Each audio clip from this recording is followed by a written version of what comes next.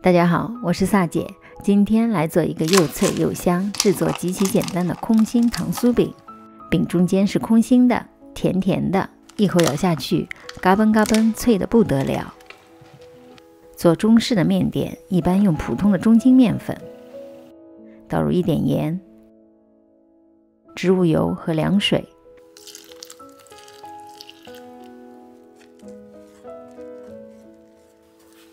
搅拌到见不到干粉，下手揉几分钟，表面不需要特别的光滑，大约这个状态就可以盖上保鲜膜，醒发十五分钟。时间到了之后，只需要轻轻揉几下，面团就会变得非常的光滑。所以，一般不是发面的面团，大家都可以通过静置醒发来替代揉面，省了力气，面团还变得特别的光滑。继续盖上保鲜膜，醒发二十分钟。现在来做这个糖酥饼的糖馅部分，红糖或者黑糖里倒入面粉，混合均匀。这时可以先预热烤箱至二百三十度。把醒发好的面团搓成长条，分成六等份，每份大约六十五克。取一份面团，擀成一个椭圆形，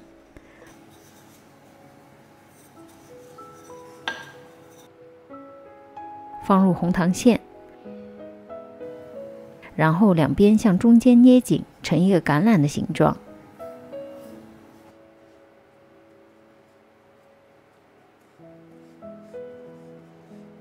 压扁，擀成一张又大又薄的椭圆形。做的过程中务必要保证加入馅料之后，封口要捏紧，而且擀成一张大椭圆形，表皮不能擀破。否则，糖酥饼就做不出空心的效果。放入垫了烘焙纸的烤盘里，表面抹一层蜂蜜水，撒上白芝麻，